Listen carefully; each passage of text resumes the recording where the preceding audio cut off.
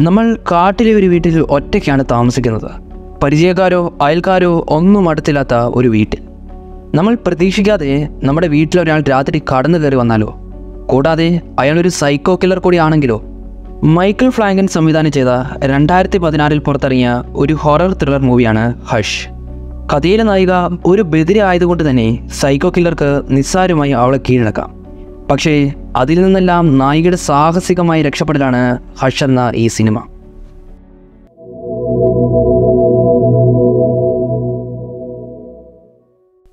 അമേരിക്കയിലെ ഫ്ലോറിഡ എന്ന നഗരത്തിൽ നിന്ന് കുറച്ച് അകലെയുള്ള കാട്ടിലെ ഒറ്റപ്പെട്ട വീട്ടിലാണ് മാഡി എന്ന ഇരുപത്തേഴുകാരി താമസിക്കുന്നത്. വൈകിട്ടായപ്പോഴേക്കും അവൾക്ക് ഡിന്നറിനുള്ള വെജിറ്റബിൾസും റൈസും എല്ലാം അവൾ കുക്ക് ചെയ്യുകയാണ്.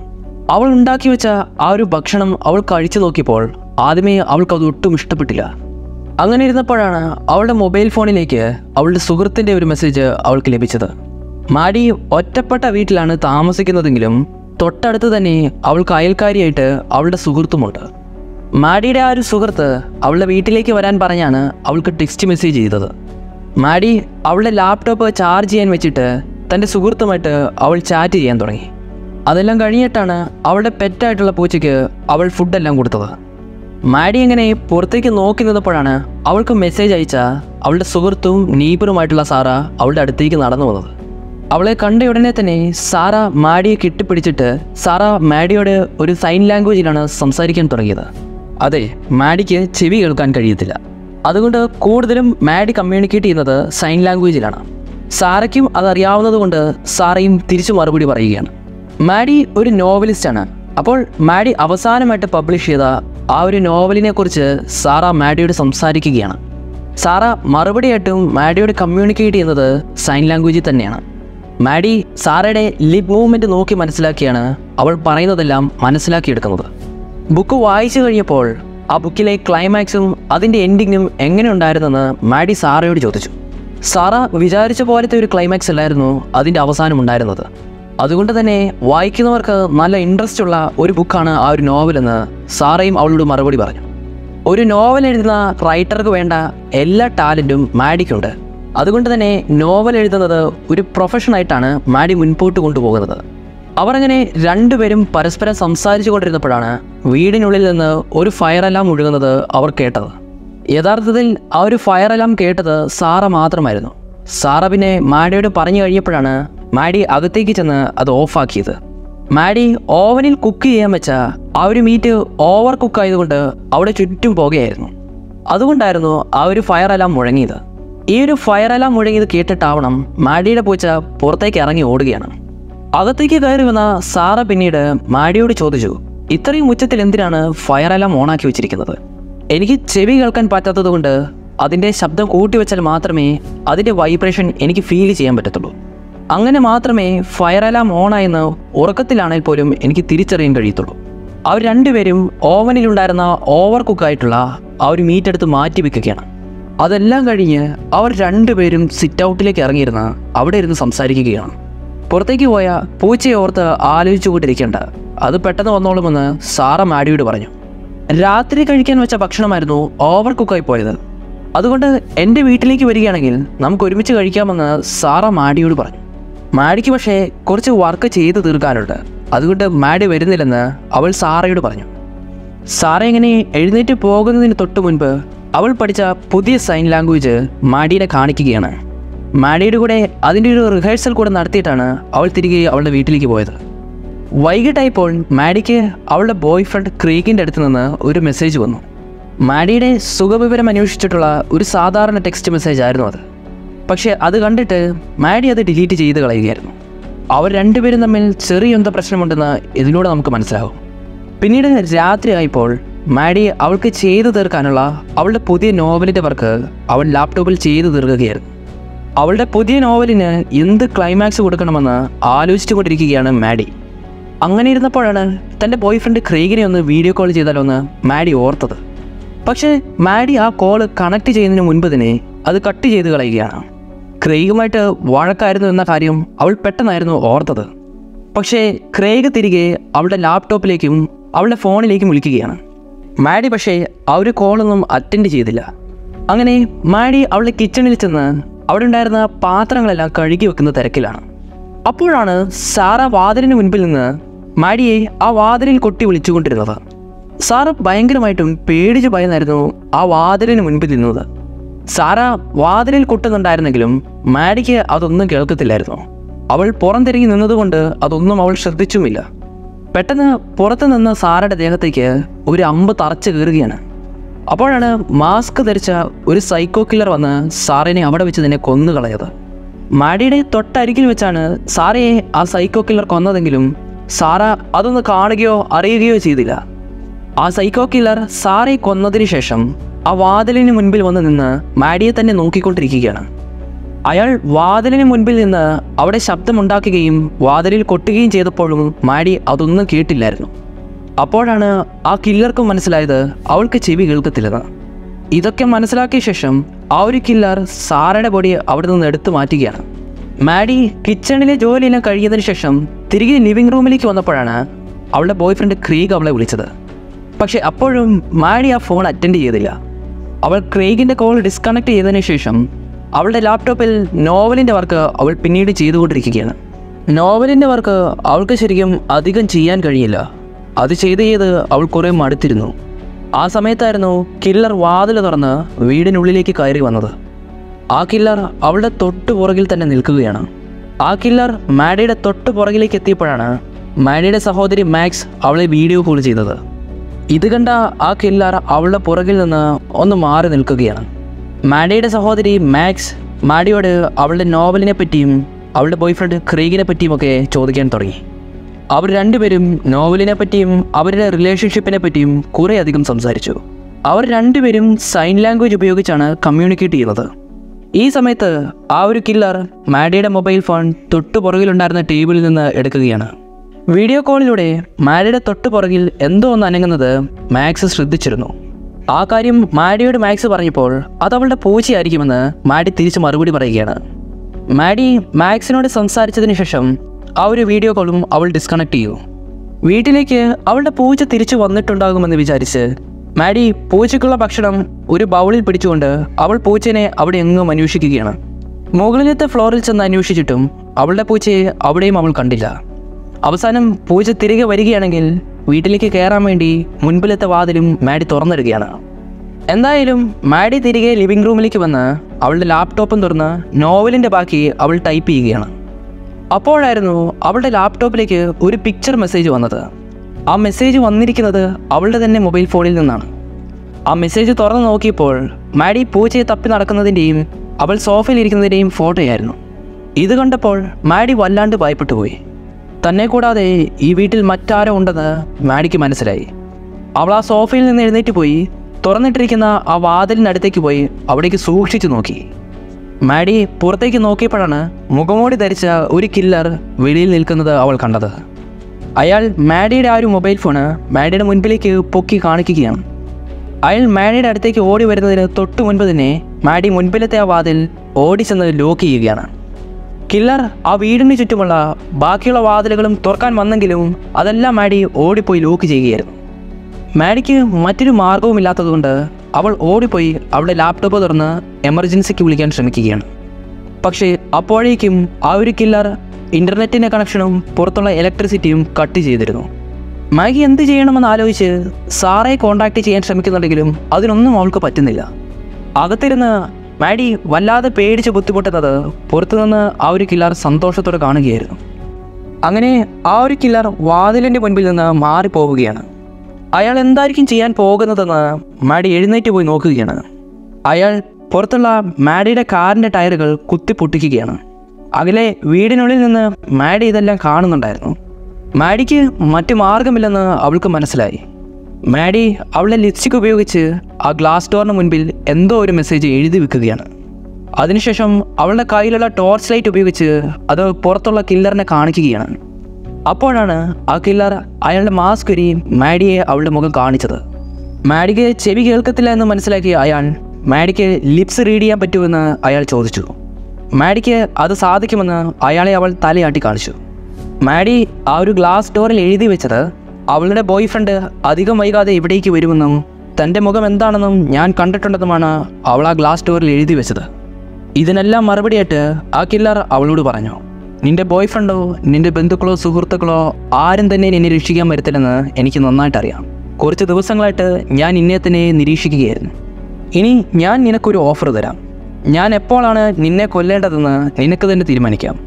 അപ്പോൾ മാത്രം ഞാൻ വീടിനുള്ളിലേക്ക് കയറുമെന്ന് നിന്നെ കൊന്നുകൊള്ളാമെന്ന് അയാൾ മാഡിയോട് പറഞ്ഞു. മാഡി വളരെ ഭയത്തോടെ തന്നെ അയാളുടെ മുൻപിൽ തലയാട്ടി കാണിച്ചു. മാഡി അവിടെ നിന്ന് കിച്ചണിലേക്ക് പോയി ഒരു കത്തിയും ഹാമറും എടുത്തുകൊണ്ട് അവളുടെ ബെഡ്റൂമിലേക്ക് പോവുകയാണ്.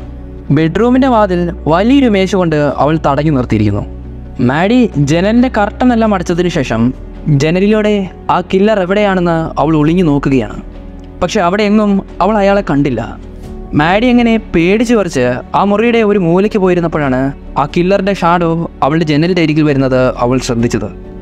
അയാൾ ആ ജനലിന്റെ അരികിൽ വന്ന് ജനലിൽ തട്ടി മാഡിയെ വിളിക്കുകയാണ്.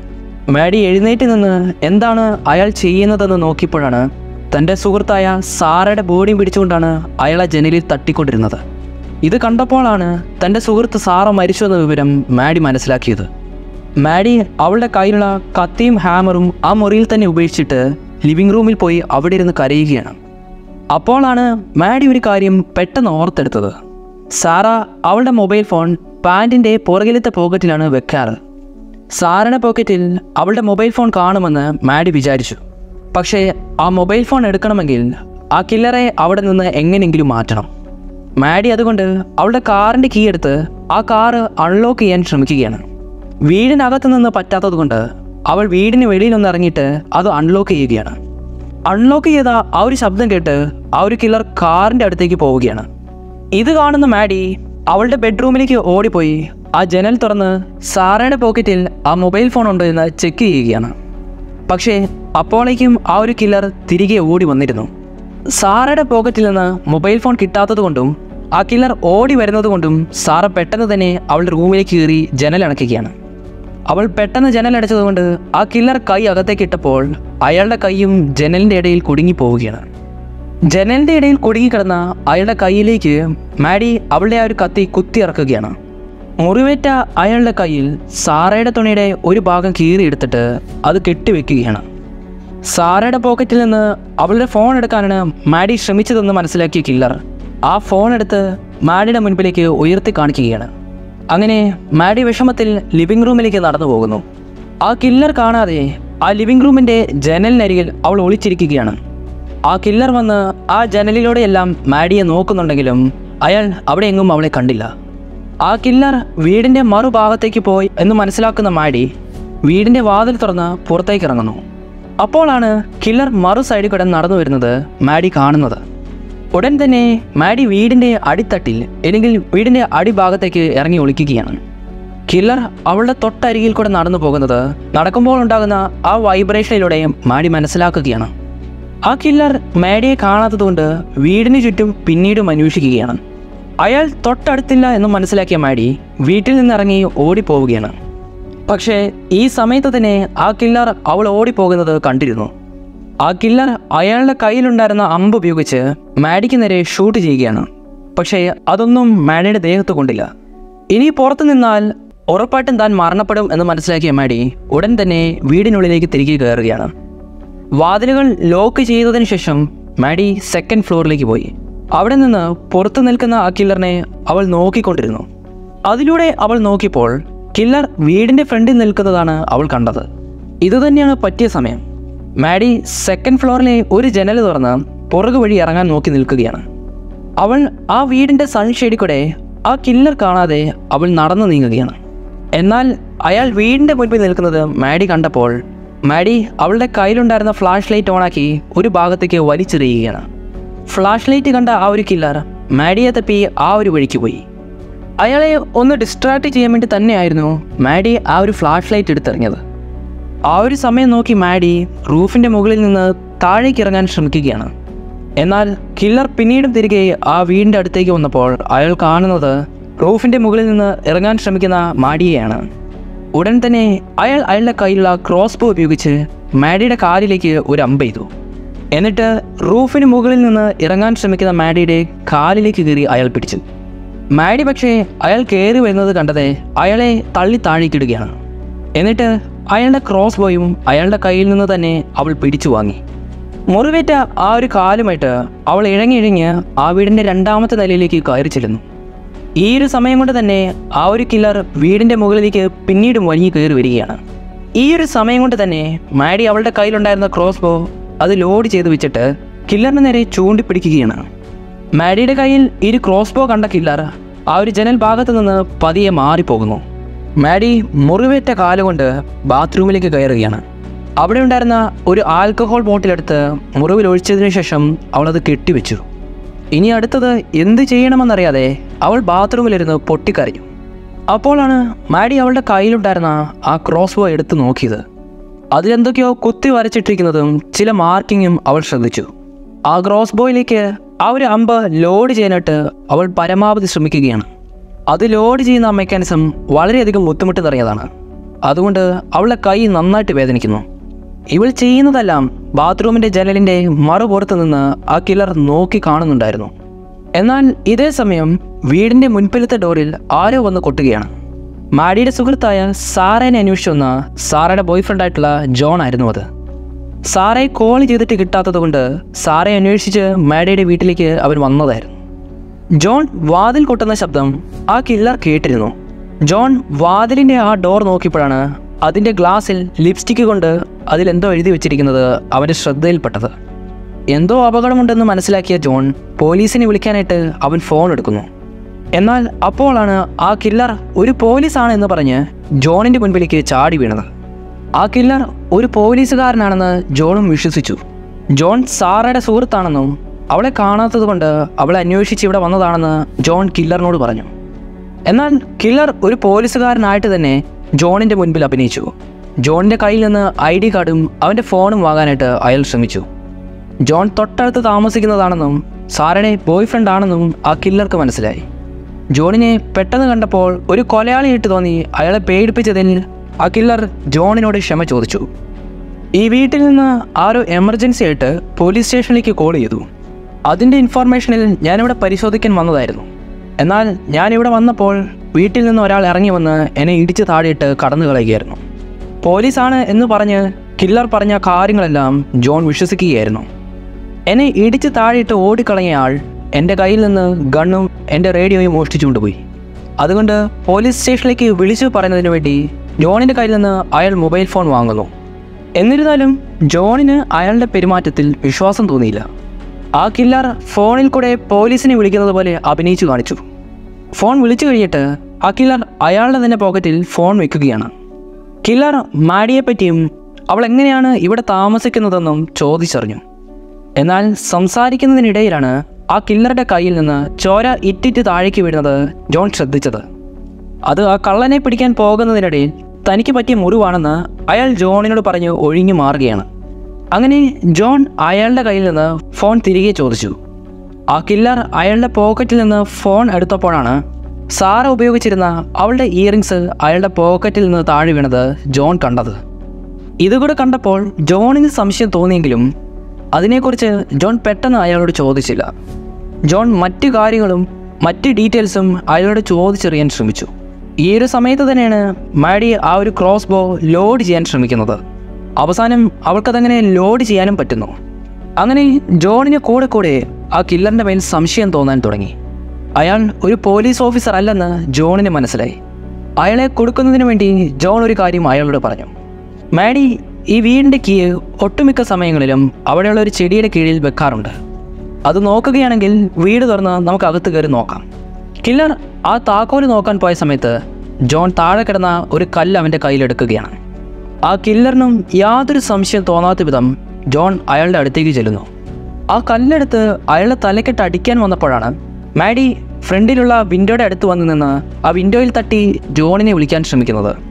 ജോൺ പെട്ടെന്നൊന്ന് തല തിരിച്ച സമയം ആ കില്ലർ അയാളുടെ കയ്യിലുണ്ടായിരുന്ന കത്തി ജോണിന്റെ ദേഹത്ത് കുത്തി ഇറക്കുകയാണ്. കുത്തുകൊണ്ട് വീണ ജോൺ ആ കില്ലറിനെതിരെ ഫൈറ്റ് ചെയ്യാൻ നോക്കിയപ്പോഴും ആ കില്ലർ പിന്നീടും അവനെ കുത്തി പരിക്കേൽപ്പിച്ച് താഴേക്ക് വീഴ്ത്തുകയാണ്. ജോൺ മുറിവേറ്റ് അവിടെ കിടക്കുന്നത് മാഡി അകലിൽ നിന്ന് കരഞ്ഞുകൊണ്ട് കാണുകയാണ്. മാഡി ജോണിനെ വാതിലിൽ കൊട്ടി പെട്ടെന്ന് വിളിച്ചതുകൊണ്ടാണ് ആ കില്ലർ പെട്ടെന്ന് തിരിഞ്ഞു നോക്കി ജോണിനെ കുത്തിയത്. മാഡിക്ക് പറ്റിയ ചെറിയൊരു അബദ്ധത്തിൽ ജോണിനെ നന്നിട്ട് പരിക്കേറ്റു. ആ കില്ലർ എഴുന്നേറ്റ് നിന്ന സമയം നോക്കി ജോൺ ആ കില്ലറിനെ പിടിച്ച് താഴേക്കിടുകയാണ് എന്നിട്ട് മാഡിയോട് പുറത്തേക്ക് ഇറങ്ങി രക്ഷപ്പെടാനും അവൻ പറഞ്ഞു. മാഡി പുറകിത്തെ ഡോർ തുറന്ന് പുറത്തേക്ക് ഇറങ്ങി ഓടിയെങ്കിലും ആ കില്ലർ അവളുടെ പുറകെ വന്ന് ഒരു കല്ല് തലക്കിടിച്ച് അവളെ കൊന്നുകളയുകയാണ് എന്നാൽ അവളെ അവിടെ കൊന്നുകളയുന്നത് അവൾ മനസ്സിൽ കണ്ട ഒരു കാര്യം മാത്രമാണ്. ജോൺ പറയുന്നത് പോലെ പുറത്തേക്ക് ഇറങ്ങി ഓടിയാൽ ഇപ്പോൾ എന്ത് സംഭവിക്കുമെന്ന് അവൾ മനസ്സിൽ കണ്ട കാര്യമായിരുന്നു അത്. മാഡി ഇപ്പോൾ യഥാർത്ഥത്തിൽ വീടിനകത്ത് തന്നെയാണ്. ഇപ്പോൾ ഞാൻ വെളിയിലേക്ക് ഇറങ്ങിയാൽ അയാൾ ഉറപ്പായിട്ടും എന്നെ കൊല്ലും. ജോണിനെ അയാൾ ഇപ്പോൾ കുത്തി കൊന്നിരിക്കുന്നു. ഇവിടെ നിന്ന് അയാളുടെ കയ്യിൽ നിന്ന് രക്ഷപ്പെടാനുള്ള പോസിബിലിറ്റി എല്ലാം അവൾ ചിന്തിച്ചു കൂട്ടുകയാണ്. ഒന്നെങ്കിൽ പുറത്തിറങ്ങി അയാൾക്കെതിരെ ഫൈറ്റ് ചെയ്ത് ഓടി രക്ഷപ്പെടുക. ഇല്ലെങ്കിൽ വീടിനകത്ത് ഒരു ഭാഗത്ത് അയാൾ കാണാതെ തന്നെ ഒളിച്ചിരിക്കുക. അങ്ങനെ ഒളിച്ചിരിക്കുകയാണെങ്കിൽ എന്റെ കാലിലേറ്റ ആ മുറിവിൽ നിന്ന് ചോര വാർന്ന് ഞാൻ മരണപ്പെടും. അങ്ങനെ എല്ലാ പോസിബിലിറ്റീസും അവൾ ചിന്തിച്ചെടുക്കുന്നു. മാഡിക്ക് അവളുടെ ബോധവും പതിയെ പതിയെ മറിഞ്ഞു പോകുന്നു. ഇനിയുള്ള ഏക മാർഗം എന്ന് പറയുന്നത് ഒന്ന് മാത്രമേ ഉള്ളൂ അയാളെ കൊല്ലുക. ഒന്നെങ്കിൽ അയാൾ അല്ലെങ്കിൽ ഞാൻ രണ്ടുപേരിൽ ഒരാൾ മാത്രമേ ഇനി സർവൈവ് ചെയ്യത്തുള്ളൂ. മാടിയതുകൊണ്ട് അയാളെ കൊല്ലാൻ തന്നെ തീരുമാനിച്ചു. എന്നാൽ ഇതേ സമയം ആ കില്ലർ ജോണിന്റെ പോക്കറ്റിൽ നിന്ന് സിഗരറ്റ് എടുത്ത് അത് വലിക്കുകയാണ്. അതിന്റെ കൂടെ തന്നെ മാഗിയുടെ കാറിൽ നിന്ന് ഒരു ഇരുമ്പ് കഷ്ണമെടുത്ത് അവളെ കൊല്ലാനിട്ട് അയാൾ ഒരുങ്ങി നിൽക്കുന്നു. വീടിന്റെ വാതിൽ തല്ലി തുറന്ന് അകത്തേക്ക് കയറി അവളെ കൊല്ലാനാണ് അയാളും ഇപ്പോൾ തീരുമാനിച്ചിരിക്കുന്നത്. എന്നാൽ മാഡിയുടെ രക്തം മാർന്ന് കുറച്ചു നേരം കൂടെ അവൾ അവിടെ ഇരിക്കട്ടെ എന്ന് അയാൾ പിന്നീടും കരുതി. ആ സമയത്തായിരുന്നു മാഡിയുടെ പൂച്ച അയാളുടെ കാലിന്റെ അരികിൽ കൂടെ നടന്നു വന്നത്. അയാൾ ആ പൂച്ചനെയും കയ്യിലെടുത്ത് കൊല്ലാൻ എന്ന രീതിയിൽ ആ പൂച്ചനെ തലോടിക്കൊണ്ടിരിക്കുകയാണ്. എന്നാൽ അയാൾ വിചാരിക്കുന്നതിലും പെട്ടെന്നായിരുന്നു മാഗി വെളിയിലേക്ക് ഇറങ്ങി വന്ന് അവളുടെ കയ്യിലുള്ള ക്രോസ് ബോ ഉപയോഗിച്ച് ഒരു അമ്പ് അയാളുടെ നേരെ അവൾ ഷൂട്ട് ചെയ്തത്. എന്നാൽ മാഡി തിരികെ വീട്ടിലേക്ക് ഓടിക്കയറി. ആ കില്ലറും അവളെ പിടിക്കാനായിട്ട് പുറകെ വന്നു. എന്നാൽ വാതിൽ അടയ്ക്കുന്നതിനിടയിൽ മാഡിയുടെ കൈ ആ വാതിലിൽ കുടുങ്ങുകയാണ്. ആ കില്ലർ അവളുടെ കൈ വാതിലിൽ പിന്നീടും പിന്നീടും ആഞ്ഞടച്ചു. അവസാനം അവൾ അവളുടെ കൈ വാതിലിനിടയിൽ നിന്ന് വലിച്ചെടുക്കുകയാണ്. അയാൾ മാഡിയെ കൊല്ലുമ്പോൾ ആസ്വദിച്ചു കൊല്ലാനാണ് ആഗ്രഹിച്ചത്. അയാളുടെ നെഞ്ചിൽ തെറിച്ച ആ അമ്പ് ഒടിച്ചു കളഞ്ഞിട്ട് അയാൾ മാഗിയുടെ മുഖത്തേക്ക് നോക്കി നിൽക്കുകയാണ്. മാഡിയും ആ വാതിലിനപ്പുറേ എഴുന്നേറ്റ് നിന്ന് അയാളെ തന്നെ തുറിച്ചു നോക്കി. അവൾ അവളുടെ ചോര കൊണ്ട് തന്നെ ആ ഗ്ലാസ്സിൽ കവേർഡ് എന്ന് ആ ജനലിൽ അയാളെ നോക്കി എഴുതി വെച്ചു. വാതിൽ അടഞ്ഞു കിടക്കുന്നത് കൊണ്ട് അത് തുറക്കുന്നതിന് വേണ്ടി ആ കില്ലർ ഇരുമ്പ് കഷ്ണം കാറിൽ നിന്ന് പിന്നീടും എടുത്തുകൊണ്ട് വരികയാണ് അതുപയോഗിച്ച് മുൻപിലത്തെ ആ ഒരു ജനൽ തല്ലി തകർത്തു. ഇതേ സമയം മാഗി അവളുടെ റൂമിൽ ചെന്ന് അവളുടെ ലാപ്ടോപ്പ് തുറന്ന് അവളുടെ പേരൻസിന് വേണ്ടി ഒരു മെയിൽ അവൾ എഴുതി വെക്കുകയാണ്. അവൾ ഉടൻ തന്നെ മരണപ്പെടുമെന്നും തന്റെ പേരൻസിനെ ഒരുപാട് സ്നേഹിക്കുന്നുണ്ടെന്നുമാണ് ആ ഒരു മെയിലിൽ അവൾ ടൈപ്പ് ചെയ്തു വെച്ചത്. മാഡി ഇങ്ങനെ ആ മുറിയുടെ ഒരു സൈഡിൽ പകുതി ബോധത്തോടെ അവിടെ ഇരിക്കുകയാണ്. എന്നാൽ ആ ഒരു കില്ലർ അവളുടെ തൊട്ടു പുറകിൽ തന്നെ എത്തിയിരുന്നു. അയാൾ അവളുടെ പുറകിൽ എത്തിയപ്പോഴേക്കും മാഡി പെട്ടെന്ന് അവളുടെ കയ്യിലുണ്ടായിരുന്ന കത്തിയെടുത്ത് അയാളുടെ വയറിലേക്ക് കുത്തി. അയാളെ കുത്തി വീഴ്ത്തിയ ഉടനെ തന്നെ മാഡി അവിടെയുള്ള കിച്ചണിലേക്ക് പോവുകയാണ്. മാഡിയുടെ ദേഹത്ത് നിന്ന് ഒരുപാട് രക്തം പോയിട്ടുണ്ട്. അതുകൊണ്ട് പകുതി ബോധത്തോടെ അവളെ കിച്ചണിന്റെ ഒരു സൈഡിലിരുന്നു. ആ ഒരു കില്ലർ വിട്ടുകൊടുക്കാൻ തയ്യാറല്ലായിരുന്നു. അയാൾ മാഡിയുടെ അടുത്തേക്ക് അവളെ കൊല്ലാനായിട്ട് വന്നപ്പോൾ മാഡി പെട്ടെന്ന് അവളുടെ കയ്യിലുണ്ടായിരുന്ന ഒരു സ്പ്രേ എടുത്ത് അയാളുടെ കണ്ണിലേക്ക് അടിച്ചു. മാഡി അവളുടെ കയ്യിലുണ്ടായിരുന്ന ഫയർ അലാമിന്റെ വെട്ടവും അയാളുടെ മുഖത്തേക്ക് അടിച്ചു. അതുകൊണ്ട് തന്നെ അയാളുടെ കയ്യിലുണ്ടായിരുന്ന കത്തി താഴേക്ക് പോയി. അങ്ങനെ അവർ രണ്ടുപേരും ഫൈറ്റ് ചെയ്യുന്നതിനിടയിൽ മാഡി നിലത്ത് കിടന്ന ആ ഒരു കത്തി എടുക്കുകയാണ്. എന്നാൽ ആ കില്ലർ പിന്നീടും മാഡിയെ ഇടിച്ച് താഴേക്കിടുകയായിരുന്നു നിലത്ത് കിടക്കുന്ന മാഡീനെ അയാൾ കുത്തി കൊല്ലാൻ വന്നപ്പോഴാണ് അവളുടെ കയ്യിൽ കിട്ടിയ ഒരു വൈൻ ഓപ്പണർ ഉപയോഗിച്ച് മാഡി അയാളെ കൊത്തി കൊല്ലുകയാണ്. അങ്ങനെ ആ ഒരു കില്ലറുടെ കാര്യത്തിൽ മാഡി തന്നെ ഒരു തീരുമാനമുണ്ടാക്കി പകുതി ബോധത്തോടെ മാഡി അവളുടെ ഫോൺ എടുത്തിട്ട് നയൻ വൺ വണ്ണിലേക്ക് അവൾ എമർജൻസി കോൾ ചെയ്തു. ബോധം പോയെങ്കിലും മാഡി എഴുന്നേറ്റ് വന്ന് വീടിന്റെ മുൻപിലിരുന്ന് അവൾ അവളുടെ പൂച്ചനെ മടിയിലിരുത്തി താലോലിച്ചു. ചെവി കേൾക്കാൻ കഴിയാത്ത മാഡി എന്ന ആ പെൺകുട്ടി ഒരു രാത്രി മുഴുവൻ നടത്തിയ പോരാട്ടത്തിനൊടുവിൽ അവളെ രക്ഷിക്കാനായിട്ട് അവസാനം പോലീസുകാർ അവിടെ എത്തുന്നു.